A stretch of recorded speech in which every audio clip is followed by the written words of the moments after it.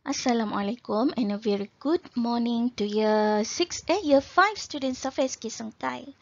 So today we are continuing our basic writing for beginner. Uh, we are going to use simple past tense. Okay, hari ini kita akan menulis menggunakan uh, past tense, ya benda yang telah berlaku. Okay, as you can see here, there are two people. Ada dua orang. Bila dua orang, kita akan guna they.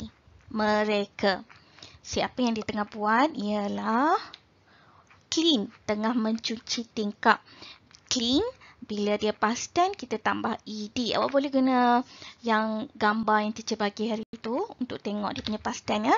Okay, clean, tambah ed. So, they clean the window. Mereka mencuci tingkap.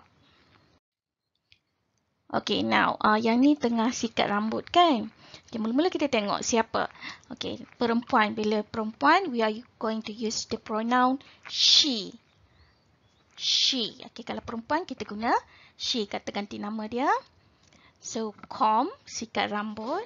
Tambah ed, comb juga. Okay, okay. she comb her hair. Dia menyikat rambut dia. Tengok di sini. Her, rambut kepunyaan dia, kita guna her. Okay. Okay, this one kita dapat SpongeBob. SpongeBob sedang cuci pinggan. Cuci ialah wash. Okay, tambah ed, wash. Uh, so, kata ganti nama SpongeBob, kita nampak dia sebagai lelaki. So, kita guna he. He wash the dishes. Okay, pinggan mangkuk. Kalau pinggan je kita plate. Kalau pinggan mangkuk, banyak pinggan, cawan, um, uh, sudu, kita panggil dishes pinggan mangkuk ya.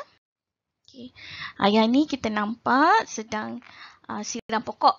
Ha, siram ni kita panggil water and watered. Okey. Pasti dia watered plus ed.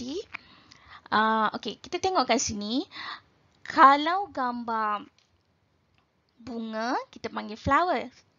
Flowers. Tapi kalau kat sini, dia macam pokok-pokok kecil. Kalau kita tak tahu, kita sebut plants. Pokok-pokok ya. Tumbuh-tumbuhan. So, she watered the plants. Kalau nampak bunga, kita lihat flowers. Okay, now we see a boy. Kita nampak budak lelaki. So, the pronoun that we are going to use is he. Kata-kata nama yang kita akan guna ialah he.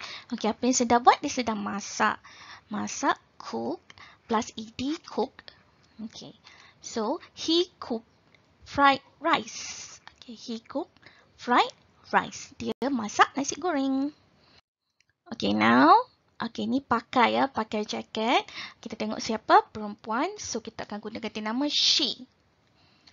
Okay, wear. Kita tak boleh tambah ed. Dia jadi wet. Uh, so, dia jadi wore. Ejaan dia berubah. So, oh sini teacher silap. Sepatutnya, she wore the jacket. She wore the jacket. Perempuan. Okay. So, here we can see a dog uh, dia tengah makan and human manusia tuan dia bagi dia makan. Okay, makan. Bagi makan ialah feed. Feed. Kita tak boleh jadikan, jadikan dia past dan feed it. So dia jadi macam ni. Fed. Feed. Past dan dia fed. Bagi makan. So uh, I'm assuming ni lelaki lah. Okay. Kita anggap itu lelaki. He fed the dog. He fed the dog. Kalau gambar uh, kucing dekat. Kalau bagi makan burung, the bird. Okey, tengok nanti pada soalan ya. Okey, ni kita nampak perempuan ni tengah bersenam. Exercise. Exercise. Uh, bila dia ni, kita tambah di exercise. Okey, exercise. Okey, she exercise. Dia bersenam. Ringkas saja dua ayat. Dia bersenam. Okey, ni kita nampak a girl, dia sedang kemas. Uh, dia angkat dan simpan. So, bila kita berkemas, kita sebut pick, eh, pack up. Pack up, berkemas. Okey, uh, kalau past tense, kita just fokus kepada perkataan verb dekat depan ni saja. Jadi, dia jadi pack up. Okey, hanya di sininya. Up ni bukan verb. So, itu tak ada perubahan. So, she packed up her toys dia berkemas barang dia. Okay. kat sini nampak boy, lelaki. Uh, di tengah kemas katil. Bila kemas katil, kita sebut make. Make kemas ya. Okay, yang ni dia jadi made. Past tense dia jadi made. So, he made his bed. Dia uh, uh, kemas katil dia. Made ni sebenarnya buat. Tapi untuk kemas katil kita sebut made. Yang tadi kita guna pack. Okay. Masukkan daripada barang satu tempat ke satu tempat lain kita sebut pack up. Kalau kemas katil kita sebut made. Okay, that's it. So, dekat sini ada satu, one, two, three, four, five, six, seven, eight. Okay, teacher kata kena buat lapan kan? Tapi masalahnya teacher dah buat satu ni. Jadi, awak hanya perlu jawab tujuh sahaja.